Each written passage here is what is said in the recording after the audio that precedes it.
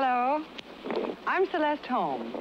Give through the refugee aid programs of the Catholic, Protestant, and Jewish faiths.